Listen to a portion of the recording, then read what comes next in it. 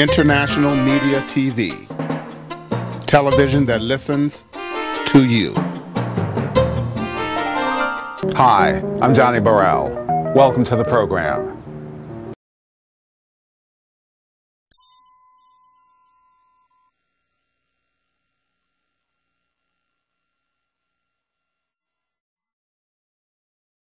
Shabbat Shalom, everyone. Welcome to Congregation Emanu-El.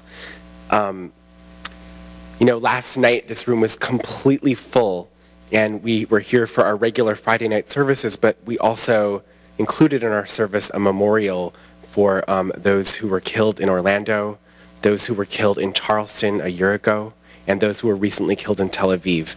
And I share that with you because um, it's so important to us that this congregation, that this building be a place where we can really address everything that we confront in life, including the hard stuff. And we know that there is such a profound relationship between gun violence and racism and the epidemic of violence in our culture right now. And so the opportunity that we have today to continue the conversation around um, how to how to really make a difference is so important. And thank you so much for being here and for, for helping us make Congregation Emanu-El a place where this conversation takes place. So welcome.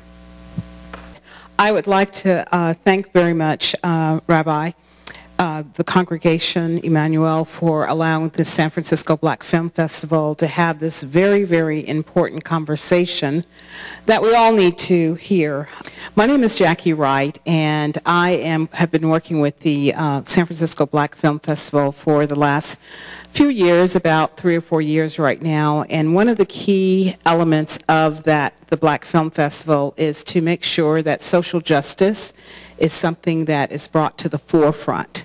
Uh, the originator of the Black Film Festival, Ave Montague, one of the reasons she started the film festival is because of so many negative images of the African diaspora and the black community that goes over the airwaves and they're never challenged.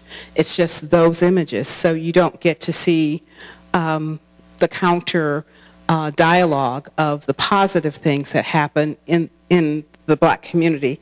And therefore, decisions are, are being made that impact people in, on all aspects of their lives. So we appreciate the fact that Jeff Adachi submitted his film, America Needs a Racial Facial. It's eight minutes. It's going to be followed by a clip of Chief Toney Chaplin, who's the acting chief of the San Francisco Police Department, and we know a lot of the things that have been going on with the police department from um, the egregious shootings to the racist text messaging and that sort of thing. So Chief Chaplin couldn't be here today, but we do have him sharing his experience personally. I'm a commander with the San Francisco Police Department. I've been employed here for 25 years.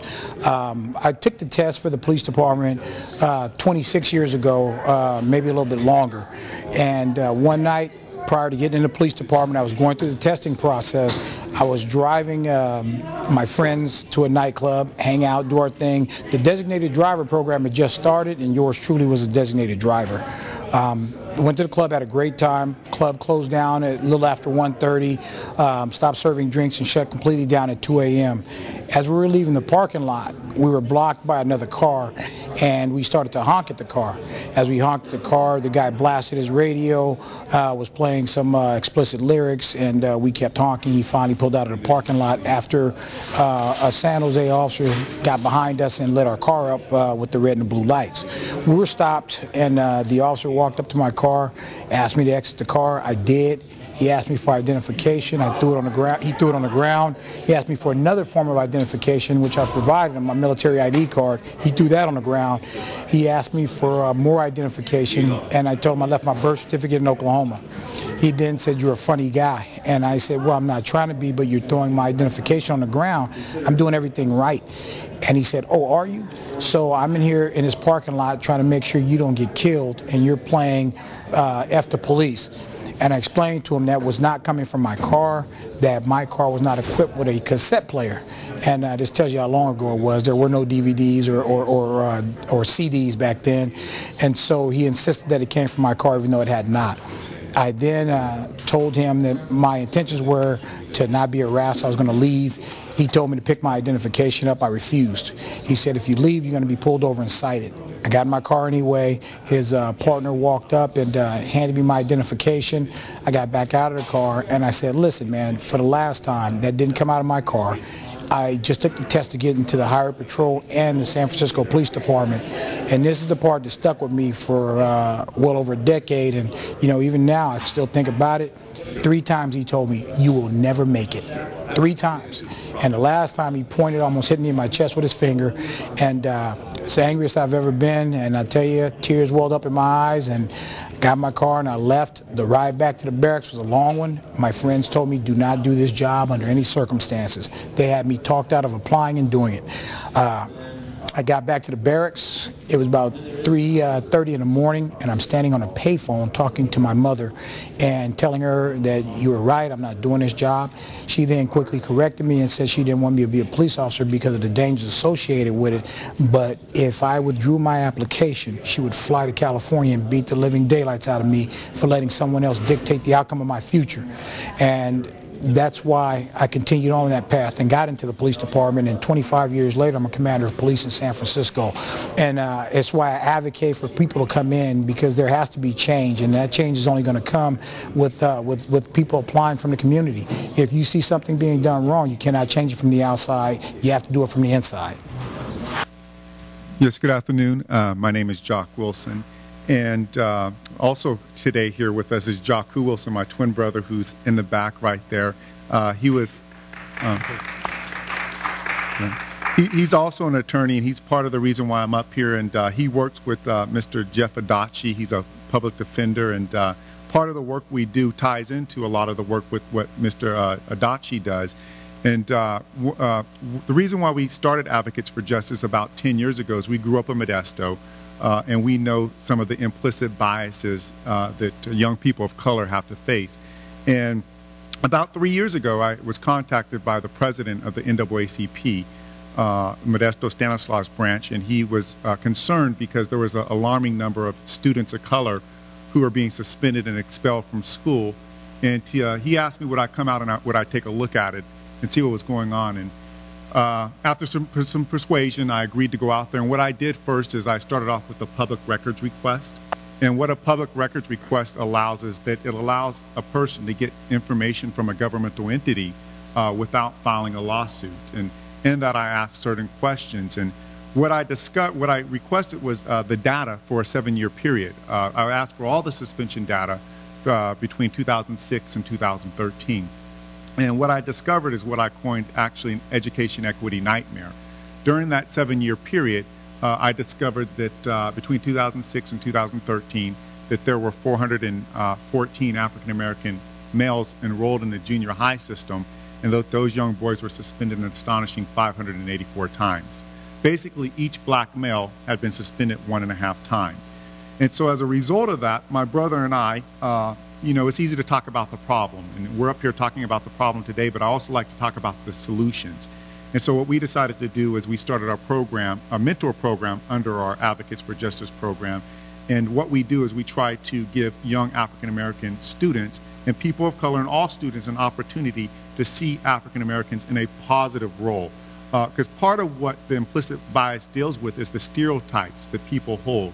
And so I think it's important as leaders in any people of color and just humanity is that we got to start changing the image of the young black males, uh, people of color. And so that when people, when they think of an African American or they think of a, a, a, person who's a drug dealer or a gang person, they don't think of just that being an African American. And when they, they have a positive role model or image to compare that to, that's when we start uh, getting the change that we want to see. And so uh, part of what we do is not only we focus on the pro problem, we represent kids free in suspension and expulsion hearings, but then we bring solutions to the table like restorative justice, like PBIS, like positive role models.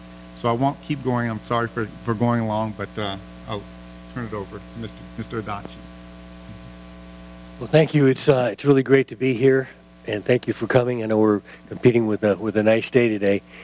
Um, I want to thank uh, Jackie and the Black Film Festival for making the screening possible.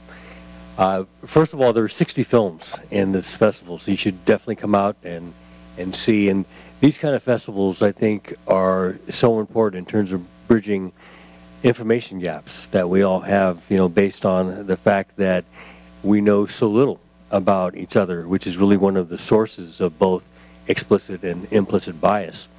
I don't know how many of you are familiar with the term uh, unconscious bias. How many of you ever have heard that term? It's it's actually become um, you know part of the nomenclature probably in the past three to five years. There's very little that was known about it, and it's primarily studies in the area of neuroscience that have revealed that we all have both conscious and unconscious biases. You might have a, a conscious bias for a particular type of food or ice cream, uh, and, and, that's a conscious bias. That's something that you are aware of and, and, and something that dictates your decisions and that you might even express. I like strawberry ice cream. And then you have unconscious biases, which are those biases which we're not necessarily aware of and that we uh, may not even be aware that our decisions are dictated uh, by uh, leanings that we have uh, that we're not even aware of, consciously aware of. And there's been a tremendous amount of, of testing done in this area.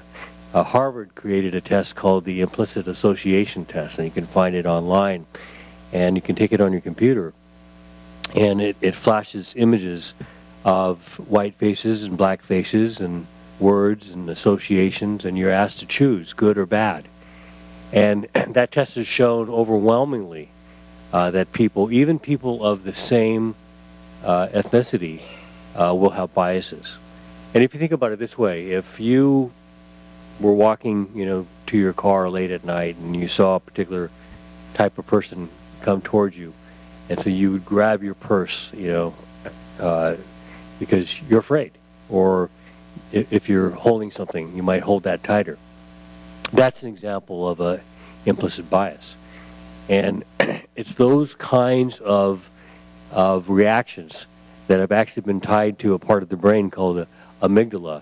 It's the, the, the fight or flight um, part of your brain, and it reacts, and it's going to send out a danger signal. It's going to send out fear uh, anxiety, all those things, uh, emotional states are controlled by that part of the brain.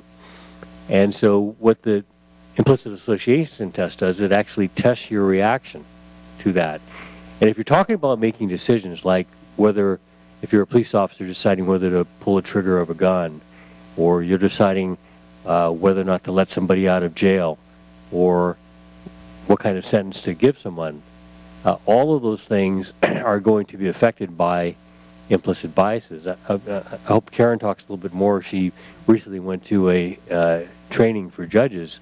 And know, judges are supposed to be, you know, right, the, the sort of highest level of decision making, trained not to be biased, and, and yet tremendous bias. I, I'll share a story that a judge told me. Was, he was a chief judge from another state, and he said, "I'll tell you the story. Won't tell anybody, but I'll tell you."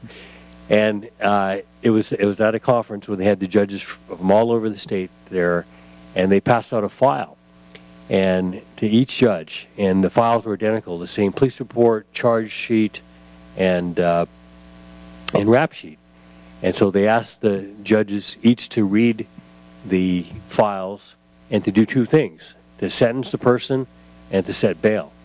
And the only difference in the files that half the files had a picture or a mugshot of a, a black person, and half the files had a, a mugshot of a white person.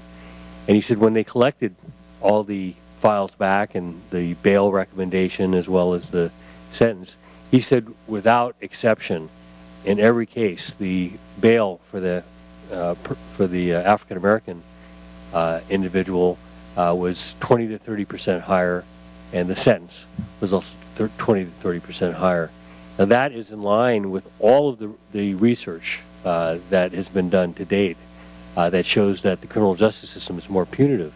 It's not surprising that that's also true. Uh, I see Pamela. How you doing? Uh, it's it's it's it's also true uh, when uh, you're talking about decisions to uh, expel students or suspend students from school, and that's something that is very common has been proven. In San Francisco, we had something that was called willful defiance, uh, meaning that an individual could be suspended uh, from school simply for being defiant uh, in a classroom. And it just turned out that about 80% of the people who were being suspended for that were African American. And so the uh, school board actually put a policy in place where they are not allowing that. We, we've seen a huge drop in the amount of suspensions. In my office, we have, actually have a full-time attorney and support staff that uh, represents uh, young people in suspensions and expulsions to help address the disparities. But you know that link in terms of students being uh, kicked out of school uh, carries directly over into the criminal justice system because about 85% of the people in prison, our clients, um, are individuals who have not completed a, a, or do not have a high school education. So that's really something to think about when we're looking at, you know, what is the impact of implicit bias? It's simply not just a, you know, harmless opinion uh, that you might carry, uh, but it actually has very deep consequences in terms of uh, fairness in, in, our society. When you start looking at um, education, employment, uh, obviously criminal justice, uh, you start seeing, you know, how it carries over uh, into the outcomes that people experience in this country. I'd like to just talk a, briefly about pipeline issues and uh, as well as stereotype threat and and how implicit bias impacts those two areas. So in terms of let's just talk about the legal profession for a moment. Um, the legal profession, why is it important, first of all? Well, first of all, the President of the United States, the First Lady of the United States, the majority, the majority of the congressional representatives, the majority of the senators, they're all lawyers. So the judges, the district attorneys, the public defenders, they're all lawyers. Why is it important to diversify and be more inclusive in the legal profession. Because we're looking at lawyers, those are the decision makers. They're the policy makers. Unfortunately, the legal profession is not diverse. It's still over 80% white and 65% male. How does this play out? It plays out in the public defender's offices, not in our esteemed colleague here, uh, Jeff Adachi's office, which is quite inclusive and diverse. But throughout the United States, public defenders, those offices, are overwhelmingly white. That's certainly true in the district attorney's office. And the district attorney is the office that makes the prosecutorial discretionary decisions. If we're suspending and disciplining and expelling children in junior high school instead of doing positive discipline and really encouraging education and higher education. Instead of feeding the pipeline to prison, we need to be feeding the pipeline to college and to law school in order to make sure that the decision makers in our country include the population. What is our what does our population look like now? Because our population today is not over 80% white. That's not what's happening. That's not what's happening throughout the United States and in California. it's, we're already at 60% non-white in our population. We also are at 51% throughout the United States of female to male, right? So there are already more women than men. There are already more non-white people than white people, but yet the power base remains overwhelmingly male and white. Let's move from there, from talking about why it's important to have a pipeline that looks different than it does now, and to address these issues that both Jeff and Jacq are talking about. When he talked about the brain and the amygdala, which when activated, we're afraid. It's our threat or fear part of our brain. So when the amygdala is activated, it's an immediate response. And if that response is to shoot or not to shoot, or run away from, or destroy, then we have, we have a serious problem in diversifying and including everyone. And the easiest thing to do is to accept or act on a stereotype because it's a very, it's simple. Oh, I have that information. It's a quick thing. So if you look at Malcolm Gladwell's Blink, uh, you'll see this. You'll also see when you take the IAT, which I highly recommend, and it's IAT at harvard.edu. Um, when you go onto the website, you, with your computer, you have a wide variety of tests you can take on gender, race, color, phenotype, etc. Um, I recommend that you take several of them and just be honest with yourself because it's a self-evaluation, it's self-awareness. So finally, I wanted to talk about stereotype threat. We saw all of those images in Jeff's film. All of those images have created the amygdala response. The American brain is responding in this way, and now it's in our DNA. How do we change that? The brain is plastic. So there's another part of our brain that addresses decision making, and that is not fully developed until age 25. Lots of studies have shown that uh, at Stanford now through MRI studies over the last 10 years of young people. So it doesn't, it's not fully developed until age 25, which gets us into some sentencing issues as well as some other criminal justice and juvenile justice issues.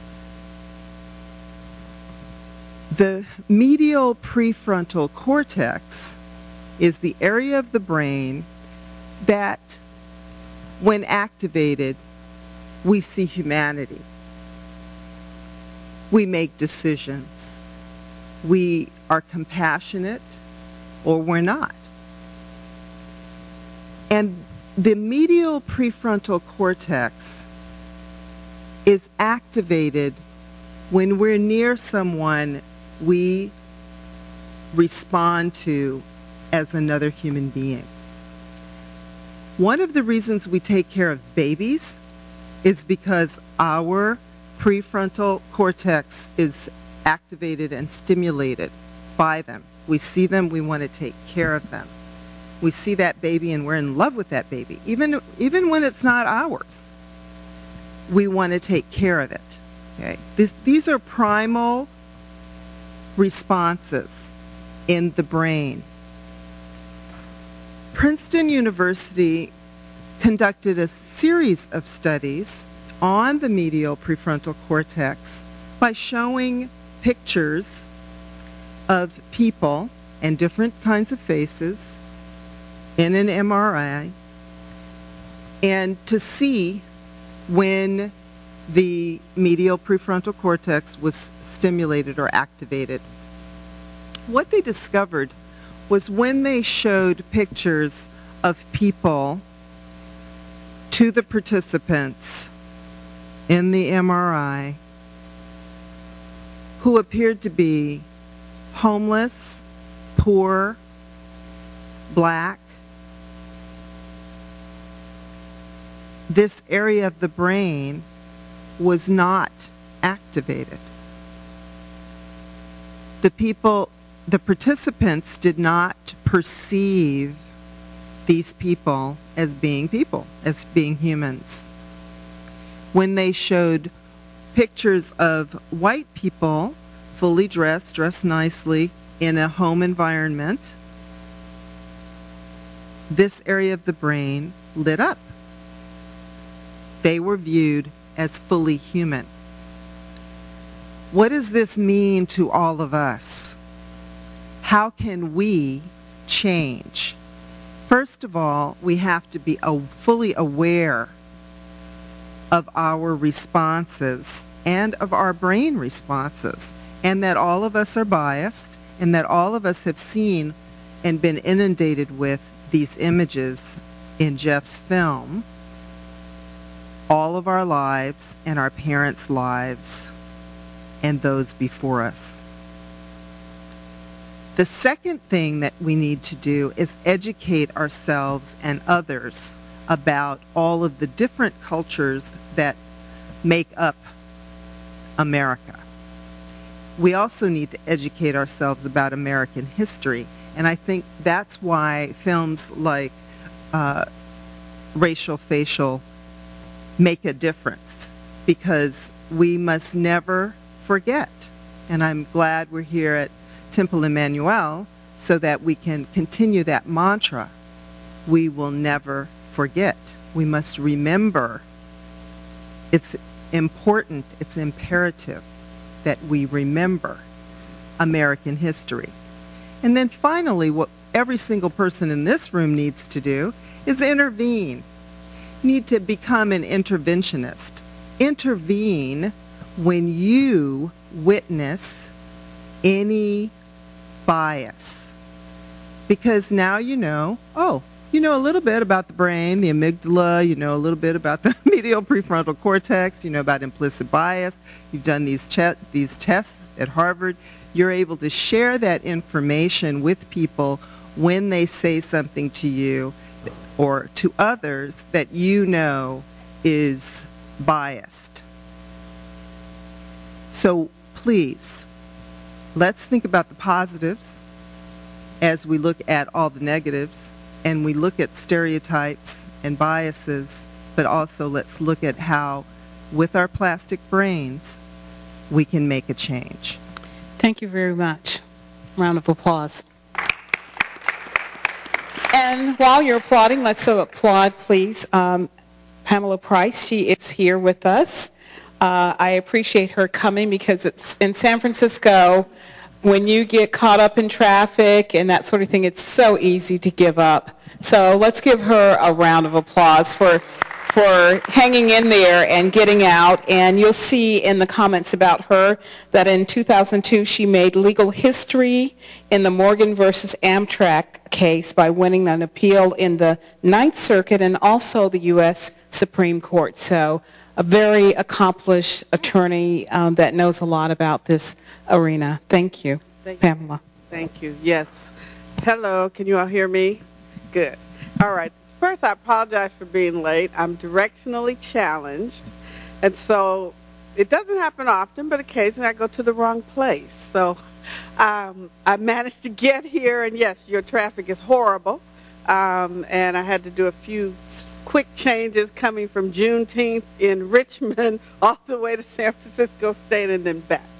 Uh, but I'm here, and I just want to take a few minutes to add something to the conversation. Um, Jackie had said it's true. I am a civil rights attorney. I've been blessed to be able to be a civil rights attorney for 33 years, to be in courtrooms where implicit and explicit bias is quite prevalent and is in fact the norm of the day from representing Mr. Morgan in a racial harassment case where he and other African American men were being referred to as monkeys and niggers on the Amtrak yard in Oakland in the 1990s, um, to just recently finishing my last trial in San Francisco, where the judge would not look at me. He would not answer me, okay, in a federal courtroom where I am the lead lawyer and I still don't deserve the respect to even be spoken to or listened to. So I'm here to tell you I met Jeff years ago and, and practiced in San Francisco Bayview Hunters Point doing criminal defense work. And I got out of that because I felt like the system was so rigged against people of color who I was representing every day. Um, I jumped into the civil justice system, and after 30 years, I can tell you it's not much better. The system is rigged. The whole thing is rigged, and it's broken. And so, what I would add to the conversation is that a lot of, yes, implicit bias exists, and what they're saying is absolutely correct. We all make judgments. We are all on this journey where we have been taught uh, bias, we have been taught racism, I started off as a civil rights activist in the civil rights movement when I was 13 and got arrested in a demonstration and came out of an era where it was we hated white. I mean, fundamentally, it was hate white people. That's what I grew up with. And we've come a long way since then. Obviously, I had to go on a personal journey to get through that, which fortunately started when I was young and ultimately, by the time I got to Yale College a few years later, I was able to say, um, everybody's a human being, and I respect all life, and I don't care what your sexual orientation is, what your race is, we all bleed. Fundamentally, we all bleed, we all hurt, um, and our perspective has to be one of respecting all life and um, human beings as is important. And so it is at this time in our history, though, one of the things I really appreciate about Jeff's film is that we often, as we go through the journey and we've come through our history, we forget our history. And that's what Karen's saying. We forget our history. We don't remember that um, the massacre in Orlando was not the worst massacre in American history.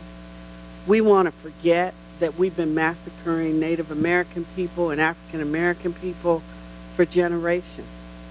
And that is an important piece of our history that we need to claim. And when you talk about needing a racial facial, we need a racial facial because we need to acknowledge that we did, that we came through that and that it does have implications now. I mean, the kind of ramifications of implicit bias is reflected not throughout our judicial system, throughout our um, entertain every industry, uh, whether it's our entertainment industry, whether it's our political realm, everywhere, people of color are not accepted, valued, um, or respected in so many ways. And so I, what I add to the conversation is to say, not only is it important and significant for each one of us to go on that personal journey to get to a place where we are empowered to speak out and to stand against racism and bias and homophobia. It is absolutely essential in this day and time that each one of us become change agents. That we hold the people who do represent us, who are primarily white and male, that we hold them accountable.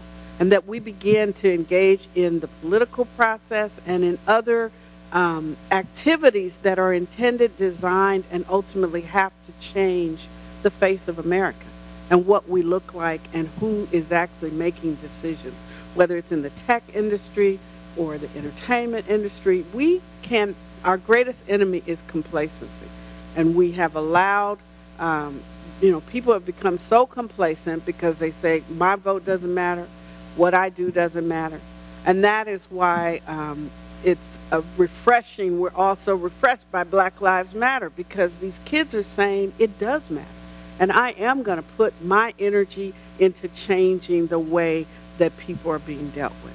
So I celebrate Jeff for having taken the time to make the film and, and having given his life to a career that is so difficult um, and so painful in so many ways. And, and each of us as we have tried to excel in our different industries and in our different ways. But we need, when Obama got elected, he said, I can't do this by myself. And he can't. And our political leaders can't. And it's a time we have an opportunity now for people to hold our leaders accountable and for all of us to be engaged in the change. And that's where we are. Thank you. Wow, a lot of great information. Um, when I think about that film, Racial Facial, and all of the images, my head almost snapped back looking at those images because it was just almost too overwhelming, especially looking at the news accounts of uh, the various um, police shootings and things like that. Jeff, your film ends with this question, what can you do? And I know uh, Karen alluded to some things, and then we see also that uh, Jacq with the Advocates for Justice, what, what he's doing. But with the amount of issues permeating our entire society that uh, even uh, Pamela brought back up, what can just the average person do to try to make changes about something that we're not consciously aware of, implicit bias? Any help for us? Well, I mean, I, I think we can, you know, each in our own unique way make a difference. And that's kind of the exciting and fun thing about fighting uh, against injustice. You know, a lot of people assume, because I'm a public defender, they think, oh, God, you know, it must be terrible every day you wake up in the morning and you got to go, you know, fight a judge or fight a prosecutor or sometimes fight your own client. And actually, it's fun. It's, it's very reaffirming in terms of my life experience uh, to see uh, situations where if you don't intervene, uh, there's going to be an outcome that isn't fair. And being in the trial courts, we have an opportunity to to affect that, you know, di- directly. Um, so that's that's how I see contributing, you know, towards this. And when I do see instances of racism uh, or discrimination, I I don't always intervene. You know, I, I'd like to say that I would, but you don't always. You know, sometimes you don't have the energy. Sometimes you make a decision not to. Um, there are other times where it's probably best to, to let it go. Uh, but I'd say probably 80 or 90 percent of the time I will say something um, because I expect that of myself. Um, you could run for office. Pam just was uh, elected to the uh, uh, Democratic uh, Central Committee in her community. That's huge. She was the she was the top vote uh, vote uh, getter, and you know, and, and, it's just hard. It's hard to run for office. It's it's a very difficult thing, but that's a, a very important way that you can uh, represent. But it's more than just being trying to be a role model. I, I, I think it does take figuring out how could I fit into this and with Racial Facial, we made this film to spark discussions with students, uh, particularly. So we've showed the film to over a thousand students just in the last two months, and received a very positive reaction. Uh, I made the film with two other uh, uh filmmakers in their 20s, and I chose them because I wanted something that was going to be relevant, you know, to young people. And so that's why we came up with, you know, the song and, uh, you know, the the um, uh, images. We took over 450 images and, and, and put them in the, new, they're almost too fast to keep up with. But if you go to our, our website, racialfacial.org, it breaks down all of the pictures and the stories uh, and, and, the history of, of both the individuals and the movements that are captured there. And, and one thing that may not be obvious uh, from watching the film the first time is that throughout history you see uh, people of color uh, working together uh, with whites and with others. Uh, if you look at the Civil War pictures, right, there were there were you know black soldiers and white soldiers side by side. Now they were not allowed to fight in the same uh, regiments. They were separated, right, segregated, but uh, they they were on the same side. If you look at the Freedom Riders, right, the, these were uh, white and black students who and Asian students, Native Americans and Latinos who decided that they were going to challenge the public transportation uh, system, the, the laws that that Pam and her practice now enforce weren't around then. And so they helped create that, that change. So it really, I think, is an exciting time because we now have an opportunity to participate in the remaking of the criminal justice system. Jacq Wilson is one of the heads of the Racial Justice Committee in our office, and they've done a tremendous amount of work, uh, both in working with the public. We have a court watch program where you can come and watch court and see for yourself uh, what happens in the courtrooms. And uh, also uh, have done a tremendous amount of advocacy in terms of improving, you know, police practices and use of force, all these debates that are going on right now. So I actually see it as very exciting and, uh, you know, you know, reinvigorating. And it really gives all of us an opportunity uh, to, to make a difference every day. I mean, that's what sort of, I think, maybe distinguishes animals from, from humans. I mean, you know, I guess you can be an animal, you know, you could be an animal and be an activist, but, um, you know, humans have the ability, you know, to take positions on things, to, you know, to, to try and create positive social change and, and, and to talk about it. And so, you know, we, we, we need to have more of that. One of the things that um, Karen Judge Clopton said was about changing the pipeline uh, because of looking at the demographics uh, of the people that are the power base and with them being, uh, there being a disparity, how do you uh, see that changing, Jacq? Do you mind speaking to that because you're working to, with some of the young people, uh, with your advocates for, for justice? Do you see that there's going to be a change in that dynamic in that pipeline? Yes, I do, and I think that part of the change is already going on, and part of the reason is because of panels and discussions like this. I mean, it's uh, Jacq Wilson who's out there, who Jeff said uh, he works at the public defenders. When our school system fails, the students they end up being at the public defender's office, you know, disproportionately.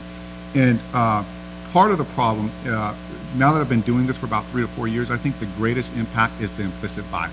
That if a lot of teachers and a lot of administrators think they're acting in good faith, okay, but they don't realize the unconscious bias that is affecting their decision making uh, in, uh, in, in, a great way. And I think that, uh, you know, part of that is, is that, you know, here's the good news. I think that uh, there's strength in numbers, but I also believe in the power of one, and that each of us has the power to change the world. Uh, and what we have to do is realize is that life comes down to a series of choices. And we have to ask ourselves, are we going to continue to be blind to the injustice or suffering of others? Or we want to be a part of the change that we want to create? Okay, and part of what we do with Advocates for Justice is about the solution. And I love working with Mr. Adachi because he does the thing like Court Watch. And when we bring these kids, black kids, white kids, Latino kids, and they sit down and they watch racial facial and they start the discussion, you could see the light bulb turning on okay? And then they get to see, you know, Latino judges, African American judges. But a lot of these people who come from these smaller areas have never seen a positive black person or positive person of color. And so when they see them and they say, look, you know what, this person's like my dad, this person's like my brother, it starts to change and the dynamics change. And so I think that the most important thing is trying to reach these children at an early age so we could stop the school to prison pipeline. Uh, and I think once we stop that school to prison pipeline, we will end mass incarceration uh, because people become awakened to these injustices. In the video, I mean, what, I'm sorry for going on and on, but I love the video because, you know, when you sit there as a person of color, and a lot of times as black people, we think that we're the only ones who have been discriminated against. We feel that way. But when you look and you see the Chinese Americans, the Japanese Americans, the Latinos, and even the comments that Donald Trump made about Latinos, and you say, look, you know what, today is them, but tomorrow can be me again. You know, and I think that we all have to realize that, you know, Dr. Martin Luther King Jr. said it best when he said an injustice to one is an injustice to all. And my favorite psychologist was a lady named Jane Elliott, and she said the only thing necessary for the perpetuation of evil is for good people to do nothing. And I think when more good people start getting up and they come to discussions like this and they're part of panels like this, that we're going to start being the change that we hope to create.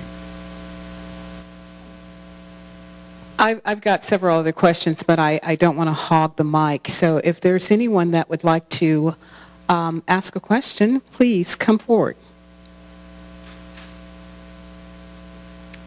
Ms. Richards? Yes, ma'am. Uh, before my questions, I just, um, if I may, uh, make some comments. And I want to start with Ms. Jackie Wright for continuing the legacy of the Black Film Festival. And I know you work very tirelessly in the community. I live in the Bayview Hunters Point, a long time, you know, resident. My name is Linda Fedike Richardson, an immigrant, and I also know Ms. Karen Clopton, and for the first time, I'm Mr. Jacq Wilson.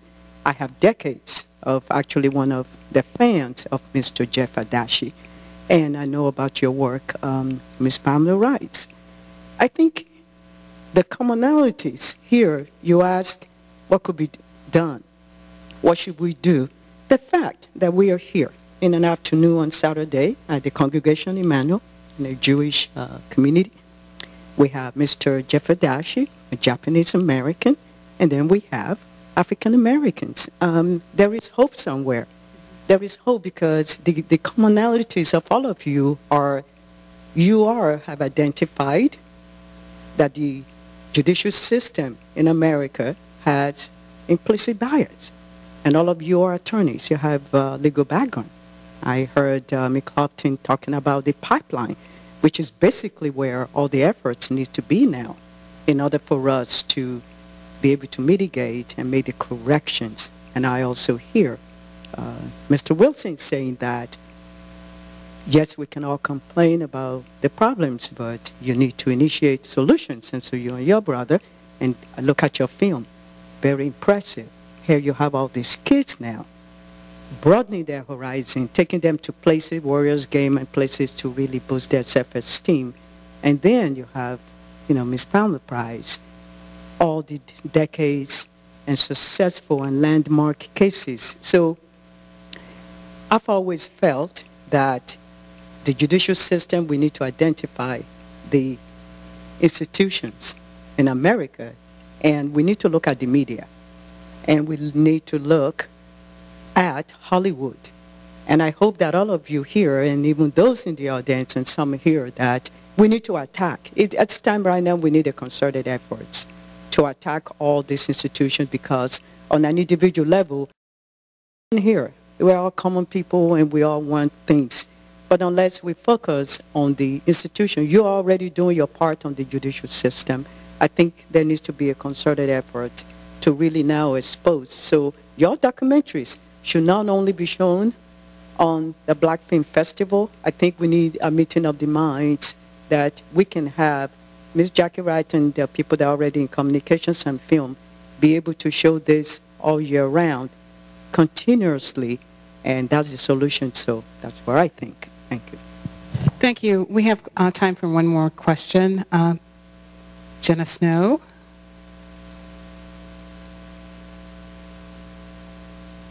Well, I have so many thoughts. I have so many thoughts. I have so many comments. I know. I, I realize that. Uh, first of all, I, I'm just so impressed with all of you. I really am. And I'm going to cry. This is so emotional. Racial facial, my heart was beating so fast with all those images. Things that we we're born in a certain time and we don't really know what happened before, but that really brought it to light. And also the fact that you showed the different ethnic groups that have been, you know, massacred over the years or unfairly treated. And it's just, it was just very emotional for me. I, I want to make a real quick comment here about the speed of it. You're right, it was a little too fast for us old folks. For the young folks, that's how they live. They live at that speed, which is really interesting because for them that was probably just right. But it was, it was just so, so very impactful to me. I have a couple of just uh, other comments. When I grew up in a very white bread, I call it white bread, uh, uh, went to high school, a very white bread high school. We had one black person in the grade below me. We had one Asian in the grade above me. What was unusual is that they both were class presidents, which was very unusual at the time. And then my grade, we had a woman as the president of our class. So I, I, we were kind of like the mod squad in a way, but um, you know, I, I feel that we were in a very progressive school, despite the fact that it was 2,000 basically white kids. I know, it, it- time goes real fast. A couple quick questions, though. Um, How long did it take you to make that film, and where did you get all those images? And I'll end with that. Yeah, well, well, thank you. Thank you for sharing that story too. And really, I think that the power of a film uh, is that it, really the reaction that it evokes, and that's really what we're after. Not it wasn't so much just the film, but it was about the reaction. Um, but uh, most of the images we got from, you know, just from uh, the the uh, internet, and you know, because it's a uh, sort of a, a satire, uh, satire historical film, you know, you're able to use uh, under the fair use doctrine. Um, but you know, we, we what we tried to do is to pull together, you know, images that would sort of objectively uh, tell a story, and you know, without judgment. And so when people watch it, you know, they can sort of look at it and come to their own conclusions as to, you know, what it means. Um, just to end on, on, on a positive note, I think as, as people have already said, the answer to implicit bias uh, is to become aware of it. And there's a second half to the study about the judges, is that they were able to uh, correct many of the injustices once the judges became aware of it. And we're told that there was a monitor uh, in the room keeping track, and that's where you saw the self-correction factor. So we still have a long way to go. Obviously, with the hate crimes in Orlando and everything else that's happening in our society, we, we have a long way to go. Uh, but you have to start somewhere. Thank you very much. Let's give a round of applause for our panel. We're ob- obviously going to have to um, put this show on the road. We're going to have to do this again someplace else. I would like to thank uh, Congregation Emanu-El for opening their doors of the temple for us to have this conversation. I'd like to thank uh, Johnnie Burrell for uh, taping this so that uh, there will be additional eyes that will be looking at this. And, um, you know, I think it was said earlier um, by both um, both Jeff and Karen, the fact that it, it goes beyond the legal system. It has to go, it, it, it deals with all aspects of our life, education, employment. Uh, as a matter of fact, my daughter, who is a recruiter for a major corporation, uh, basically told me, as I was telling her about some of the problems of my getting a job, well, Mom, nobody wants to hire their mother. So, you know, you have implicit bias that's affecting us in so many different ways. And I really uh, appreciate this and look forward to having the San Francisco Black Film Festival having a redux um, and um, showing this film again and having this conversation because an hour and a half was unrealistic in the first place. But we just did want to uh, let everyone know that this is something that the film festival is very concerned about. It speaks to its history, and it's something that our community needs to take hold of in light of what's happening in our institutions like the San Francisco Police Department. So I thank you all for being here.